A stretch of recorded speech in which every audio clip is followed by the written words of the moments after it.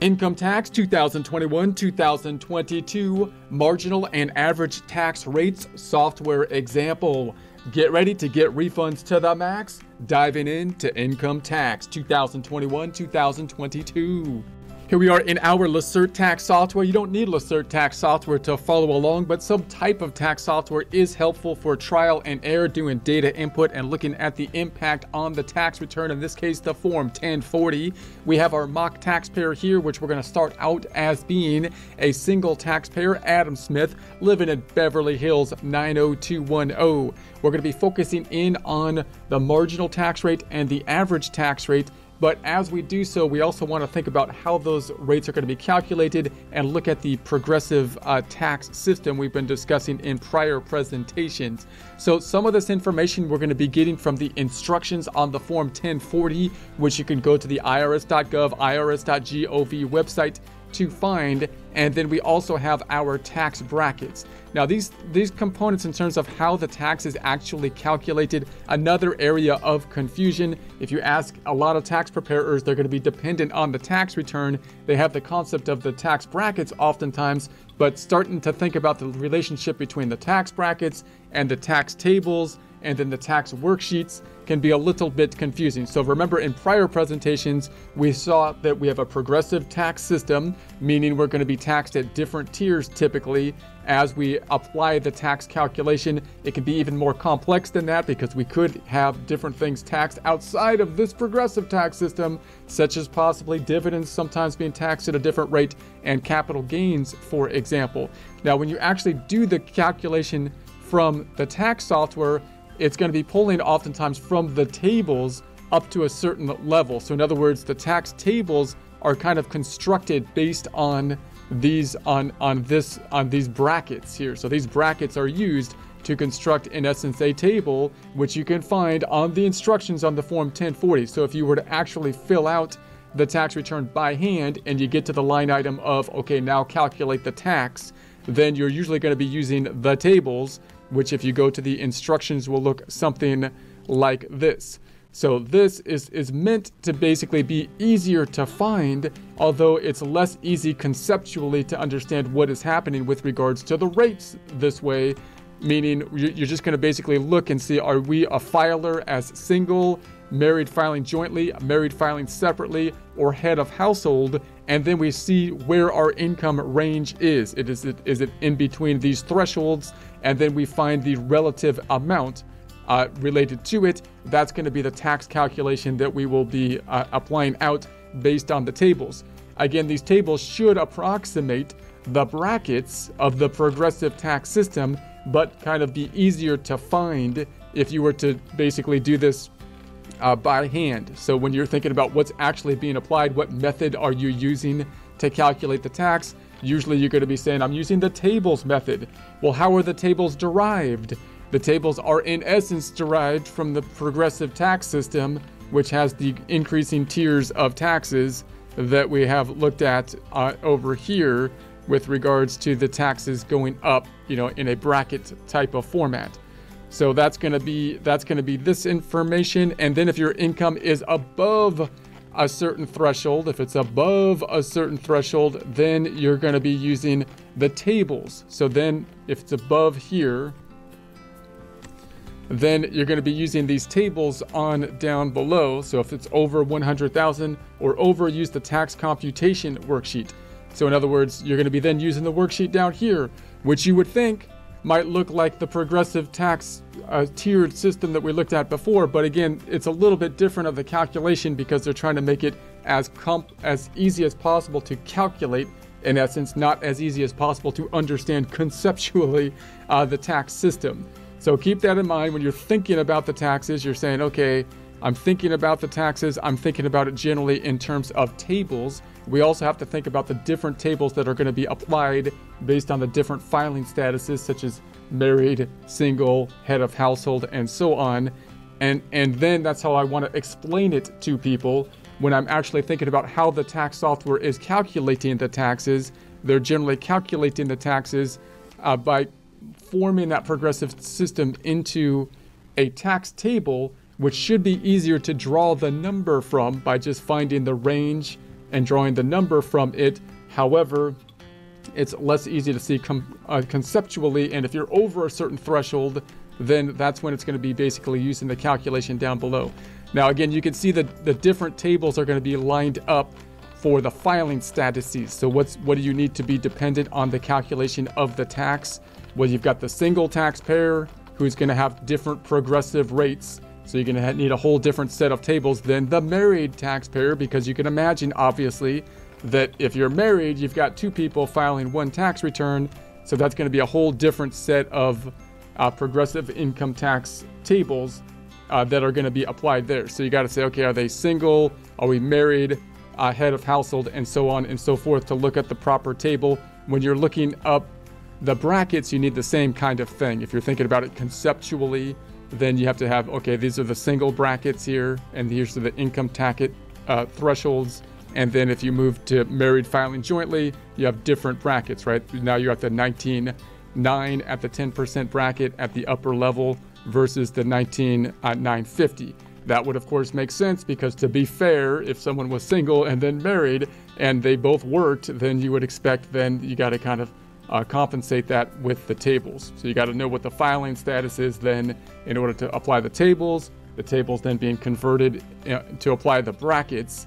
The brackets then being converted into the tables that are usually going to be used calculating the taxes unless the taxes are over a certain threshold, in which case the software is actually going to be using the worksheet. So let's let's think about a couple of these just to get an idea of it. So let's say, okay, let's say that our single filer, so we're going to sing, single filer Adam Smith made 100,000 W2 income. They had just the standard deduction of 12,550. That gives us then the taxable income of the 87,450. So 87,450. That's usually what we confirm on our side. If I was to if I was to kind of confirm my data input, I would look at it in a formula basis and say, okay, wages 100,000. That makes sense and then standard deduction was this amount. So that gives me, I can recalculate quite easily and say, okay, yeah, that's going to be taxable income 87,450. What taxpayers don't usually confirm uh, on their own, oftentimes, or recalculate is the average tax rate of, in this case, 17.2. Uh, what they what they usually do is say, okay, tax software, you help me out from there. Apply the tables, calculate the tax, and then we can basically then we can calculate and see what the average tax rate is by dividing this out and picking up the 17.2. So in other words, I would then double check this number most likely and then depend on the software to give me the actual tax calculation. So if I jump back on over and say, all right, what's the tax calculation? I'm going to go to page two then, and it says 15,150. 15,150. So if that's the case, we can determine then I would put that into my worksheet and say, okay, there's there's the 15,115 and that would allow us to calculate the average tax here. So the software will also do that. If I go onto the software and I go to my tax summary, I can go back on over and say, okay, and most software has this. This is a Lacerte tax software, but no, most tax softwares has this, which is basically breaking this down into more of an income formula basis. And we'll talk about the formula more in a future presentation. But down below, you can see the calculation of the marginal tax and the effective tax. So now it's calculated the tax, the, the tax being here, the total tax that has an, an underpayment penalty we're not going to take into consideration right now, but it has the marginal tax at the 24%. Now, does that make sense? If we think about that, we could we can't really say, okay, does that make sense from my tables here? Because it doesn't tell me what the percents are. We've got to jump back to the brackets and say, okay, does that make sense? If they made 100,000, that would put them in between this bracket from 86, 376 to 164, and that's at the 24%. So that's their highest bracket. That's their marginal bracket, the bracket at the margin at the end. What's their average or effective tax? 17.2. Now, the 17.2 is calculated, like we said, the tax is up here. Uh, the total tax is the 15015 divided by the taxable income. So taxable income 87,450. Now again, remember the taxable income, if I, if I, there's the 17.2, if I multiply it times 100, there we have it. Now remember the taxable income still a little bit troublesome, a little bit confusing because it's after the deductions And the deductions are not always things that we used in order to generate the revenue, like you would think would be for an income tax. So you deduct things that are personal, like mortgage interest and whatnot, which can be significant deductions. So that still kind of skews it a little bit. Also, the credits skew it a little bit. So, for example, if I went back on over here and said, well, what if I add what if I add like a dependent and say there's a child tax credit that's going to be involved here? Let's put the dependent on the books and say we're going to claim a dependent and we're going to put that on the books, go back to the forms. If I go back to the first page, we'll talk more about doing this later, but just in, in the calculation of the average and marginal tax, what's that going to do? Because now I've got the same calculation for the taxes on page two here, the 15,015, but then I've got this this big credit down here, which is a dollar for dollar money back type of situation. So if I go to my tax summary, how's that going to be calculated? Because it's still the the effective the marginal tax is still at 24, so it didn't change my ta- tax bracket, and then the effective tax is still at the 17.2. But again, that doesn't that's not quite that's a little deceiving because the 17.2 is still being calculated at this tax calculation of the 15015 divided by the taxable income. And the tax the taxable income was the 87 here divided by the 87,450 so there's the 17.2 but really after this credit and I'm not going to take into consideration this underpayment penalty I had I really had the 12,892 total, I'll add back the underpayment penalty 227. So it's really 13119. And if I was to take that divided by the taxable income 87,450, it's really something like 15% because the credit it was put down here under and I didn't pay taxes because of the credit. So that also confuses the average tax rate. So that average tax rate is really kind of confusing. But remember the average tax rate is something that you want to talk to somebody about in terms of this is kind of what you're actually paying on average. But the marginal tax rate is often what you're concerned about for decision making because decisions are made on the margin. So if they made another dollar, they're going to be paying taxes at the 24%. So if they're saying, I'm going to make more money next year, then you're going to say, yeah, well, that next dollar is going to be taxed at 24%. But what about the average of 17? Yeah, the average of 17 is what you average pay but your highest bracket is what you're paying at now, that's at 24%. Now that average tax gets even a little a little more confusing if you were to say, well, what would happen, for example, if I say the income down here was down to like, let's say the income was like 20,000, 20,000 on the income and bring it on back to the forms. So now my taxable income, so now I've got my income at the 20,000 the standard de- deduction is 12.5. My taxable income is 7,540. Uh, and so my total tax, my tax is going to be 748. But I've got a I've got this big credit here, which is the the uh, tax credit of the 3,600. So that means I'm going to have an overpayment, or basically what they're saying is a refund here of the 2,852. So I'm actually getting money, right? I'm, I'm getting more money than I'm getting a refundable credit. So the taxes here are acting as like a, a benefit for me. And you can see down here that the effective tax is still at 10%. Why is it at 10%? Because it's basically calculating this this this tax, the total tax of the 748 divided by the taxable income of the 7450. So there's the 10%, but we're not paying 10%. Not only we're not paying 10%, there's a negative there's a negative tax, right? Because we're getting more money back below below zero. So really what's happening here is we're getting 2000, so we're getting 2852 divided by the taxable income 7450. So we're receiving, you know, 38%, 38% on it. So that so that's another area where this this effective tax is kind of confusing because again the credits uh, throw it off. Obviously that that effective tax or the average tax isn't really applicable in that case. So those things can kind of throw it off a bit. So let's go back on over and say okay, let's go back and bring it back to our original example. So we're going to go to the deductions and or the dependents and no dependent and bring the wages back up to the 100,000, 100,000. So we'll bring that up. If I go back on over, then we've got our, we're, we're back up to that 15. We've got the marginal at the 24 and then the 17. So we check the 24 on the marginal.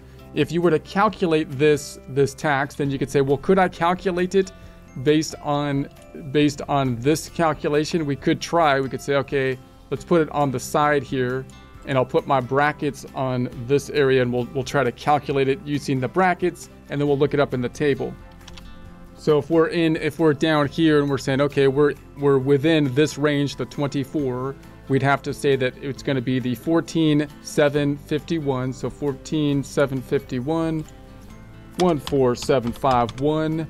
And then we're going to say that we had the the one the 100,000 minus the actually it's going to be the taxable income the taxable income which is the 87,450 so we'll take the 87,450 minus and then we'll pick up the lower level here we're in this range where the lower level is going to be minus the 86376 is going to be 1074 at the 24%.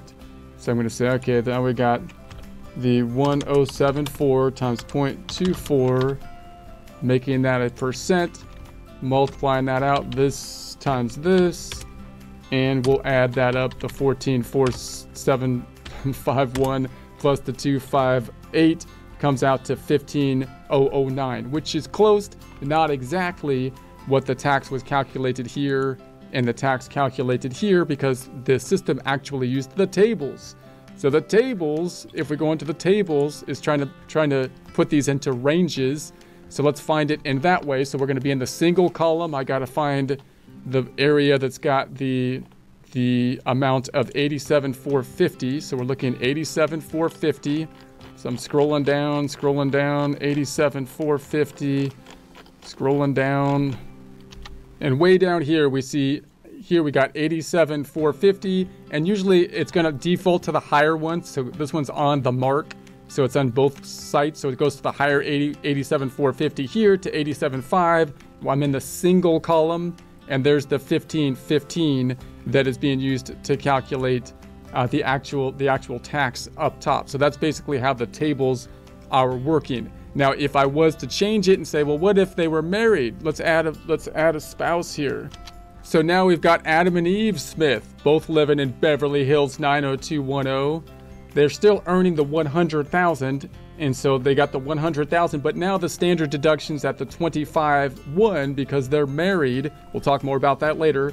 But now that that would mean that the taxable income is at the 74,900. So now the taxable income has changed because and that nothing else has changed they're just married now so that standard deduction if that's what they're taking is basically doubled because there's two people now making their their income different now at the the taxable income 74 800 so if i go to the tax summary then and say okay well what's happening down here? Now they're at the marginal tax rate. The highest tax rate is 12% does that make sense? Well let's go to my table here. I can't use the single table. I got to go to the married table and their income is between is at is at the I'm looking for tax 74.9 so the 74.9 should be uh, right right in between here which is at the 12% so it's in between there at the 12% so it's like okay I could calculate that by saying 1990 1990 1990 and then add that to the difference. And by the way, I'll, i can change the standard deduction in my worksheet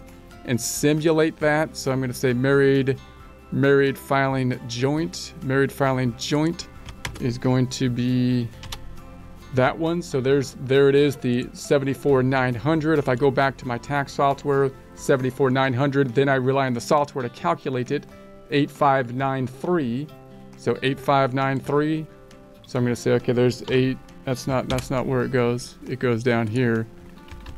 8593. So there's my my average that has been calculated. I can try to recalculate it with the brackets and I'm going to say, okay, there's the the 990 and then I'll pull out the trusty calculator and I'm going to take then the difference of the 74900 minus back on over here minus the lower area which is going to be the 19901 so I have a difference of 54999 at the 12%.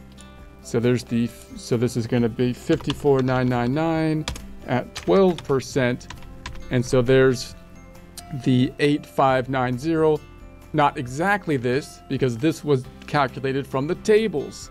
So if I go into the tables then I'm going to go into the tables and I'm looking for that that number of the net income 74.9 this time. So 74.9. So here it is. And so and now I'm not in the single column, right? I'm not in single anymore. I'm in married filing joint. So I've got to go into the married filing joint and this is what the software will do for you. 74.9 here and I'm going to go here and that's going to be the 8593, right? Is that what it was? 8593.